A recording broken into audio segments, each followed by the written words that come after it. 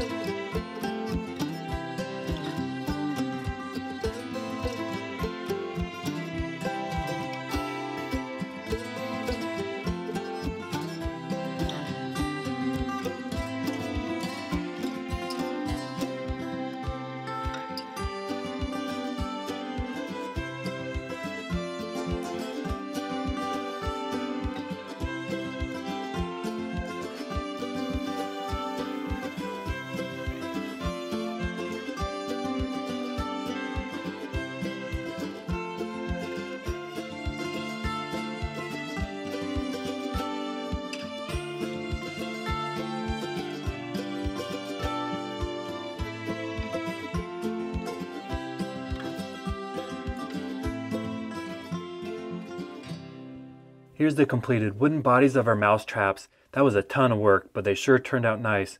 The walnut's a dark chocolate color, and the oak has all this grain in it. It's hard to believe this started out as a piece of firewood.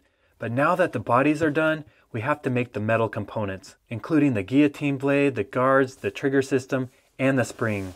We're to shift from woodworking to metalworking. Here's the components. I have a 3 16 metal bar. We're to hammer this out and make the guillotine blades. Also, we have some wire and some metal strapping. We're to cut and bend all the pieces, heat them up, hammer them out. So let's go back to the workshop and start working the metal.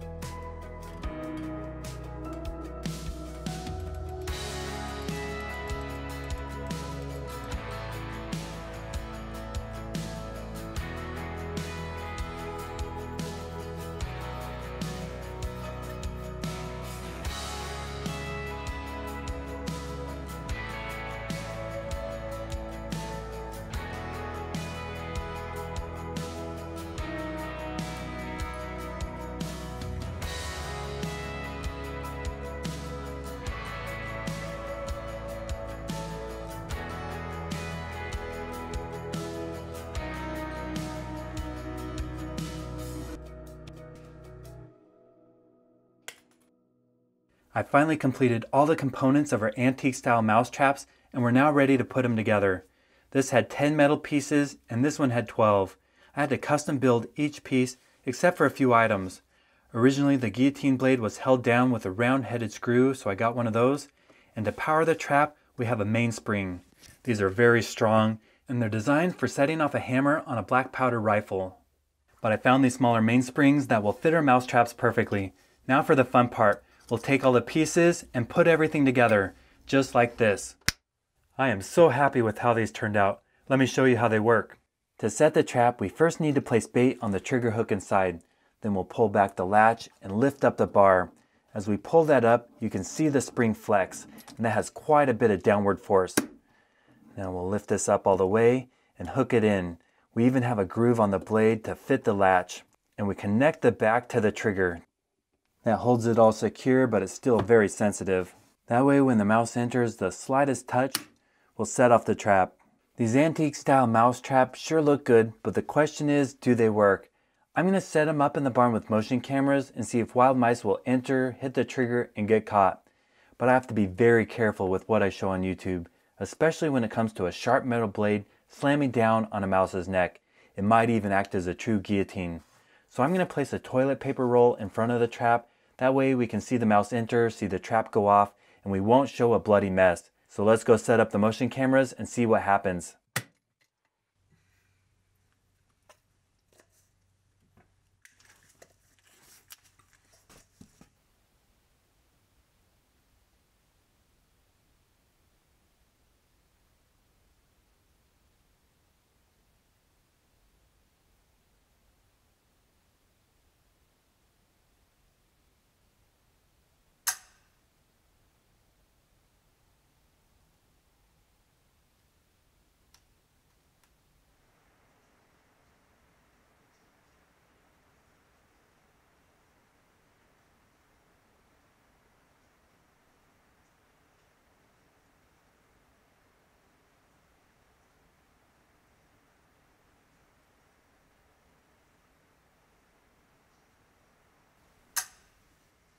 Well, after watching the trail cameras, I learned a lot about these traps. There's a huge weakness. A mouse can go on top, hit the trigger, and set off the blade without getting caught. That's what happened with the first one. Then it went inside and got a free meal. But the second mouse wasn't as lucky. It went down there, pulled the trigger, and got the bar right on its neck. It worked very well, but it doesn't act as a true guillotine. It's more like a regular snap trap. Now one thing that drives me crazy is mice came back and started chewing on my trap right here. Has teeth marks. I worked so hard on this and they damaged it. But I guess that gives it character. And as you can see, they love to poop everywhere. They're really messy. Now I don't want the mouse we caught in this trap to go to waste, so I'm going to feed it to a wild animal. Let's go set up the motion cameras in the backyard and see what comes along and enjoys a guillotined mouse.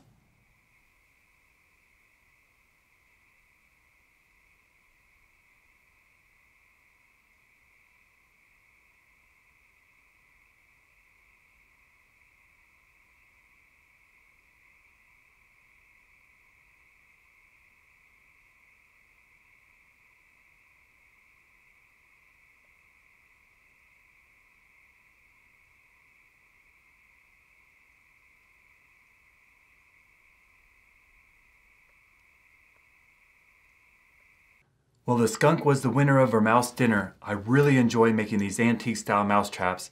And even though they weren't perfect matches, they were close enough to test out and see how they worked. Thank you so much for watching. I've taken the last two weeks off to spend time with our new baby. I've really enjoyed this break slowing down, but it's time to start posting videos again. If you haven't subscribed to my channel yet, please consider clicking the button right here. I've posted over 550 videos on YouTube and currently I'm posting new videos every Monday. So if you want to see the best videos on how to catch mice, rats, squirrels, chipmunks, moles, voles, and gophers, stay tuned.